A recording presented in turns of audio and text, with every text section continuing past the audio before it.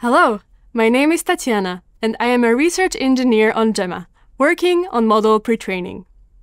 Today, I want to show you a demo that uses Gemma's multi-turn, multimodal, and long context capabilities. We recently launched Gemma 3, and it now handles context windows up to 128,000 tokens, and this is 16 times more than Gemma 2. Let's test the long context now. The Royal Society has recently published the list of most popular papers of 2024. These are the papers that gained the most attention and engagement, and I am very interested to learn what they are about. However, I don't have the time to read all of these papers, so I will use Gemma 3 as a research assistant to help me learn more about them. First, I will pass the papers to the Gemma model and I will ask it to summarize each paper with a single sentence. This will help me choose which paper I want to learn more about.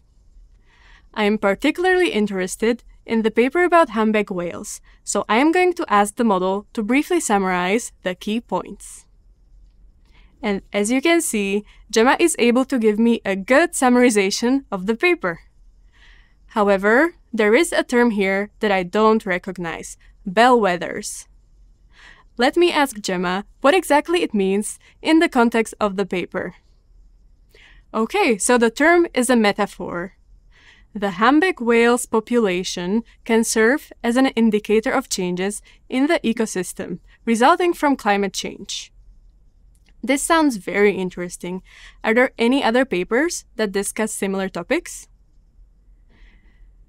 And here, you can see that Gemma not only listed similar papers, it also summarized each one of them and described their connection to climate change. I am a dog person, so one paper that caught my attention is the one about dogs.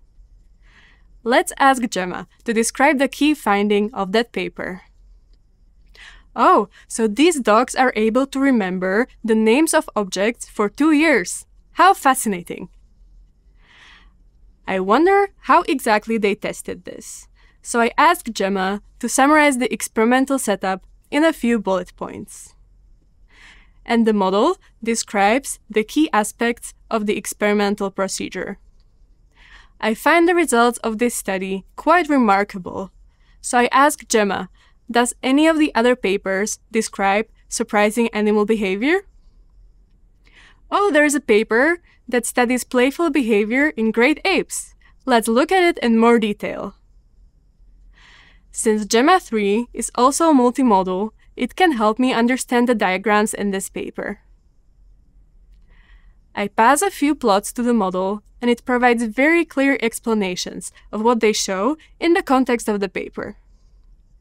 As the last thing, I want to ask Gemma to summarize the papers.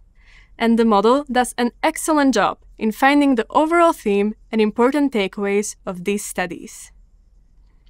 I would also like to share the summary with my family so I will ask the model to translate it.